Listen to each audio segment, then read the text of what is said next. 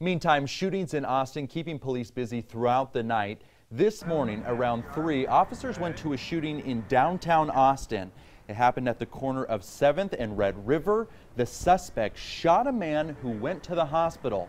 Investigators are now working to determine if this is random or if the two know each other.